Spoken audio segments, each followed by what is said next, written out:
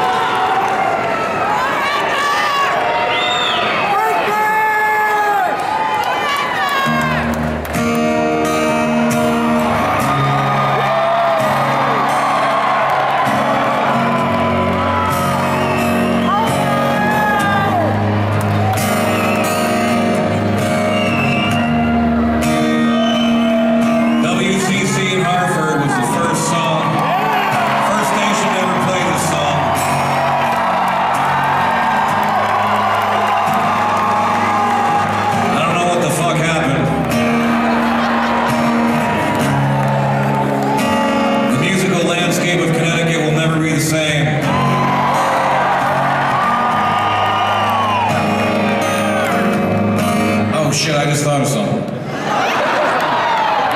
Today is the 12th anniversary of the station fire in Rhode Island. So if we could just uh, take a moment of silence to remember all those lost. Take your hats off if you're wearing them.